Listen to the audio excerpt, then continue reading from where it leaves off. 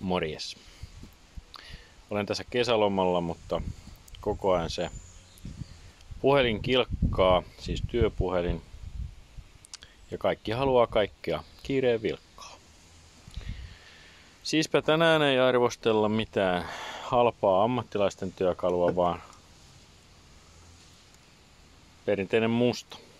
Se sopii tähän tunnelmaan, kun joutuu lomalla töitä tekemään. Huomenna joutuu vielä menee itse työpaikalle ja torstaina. Että vedetään nyt sitten raikkaasti.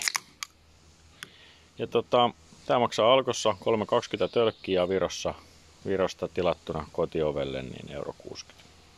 Puoleen hintaan kotiovelle tilattuna se on jännä juttu, kuinka Suomessa tehty juoma halpenee niin radikaalisti, kun se tuodaan käytetään Virossa ja tuodaan takaisin. No mutta se siitä. Tämä ei ole alkon lämmin, vaan tämä on kylmä. Kaikki on siis sekaisin. 7,5 prosenttia alkoholia ja menee päähän kuin häkää.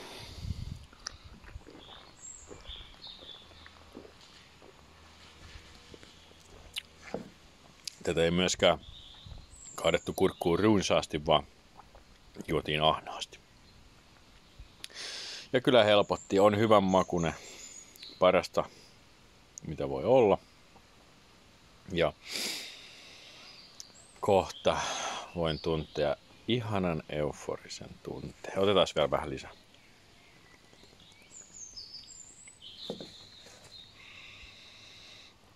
Noin. Nyt on mukavampi taas vastata puhelimeen. Hei hei.